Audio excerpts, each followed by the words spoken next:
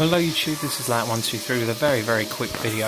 Um, I've taken apart my Smokey Joe model because it isn't working properly and um, it keeps cutting out. I don't know why. I've had it totally to bits but if I show you, see the worm gear there, it starts to spin and if I stop the other train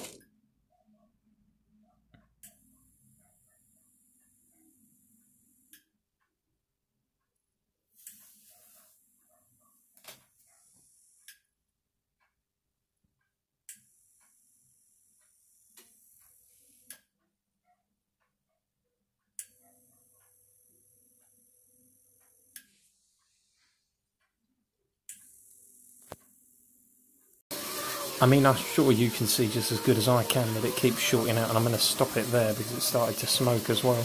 I have no idea why it's doing it.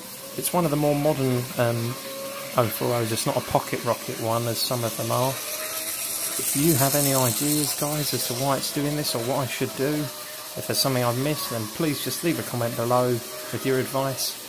And that's all I'm really asking for, is just some help with um, how to fix this problem. Okay, everyone, thank you very much for watching and I'll see you all in the next video. Bye bye.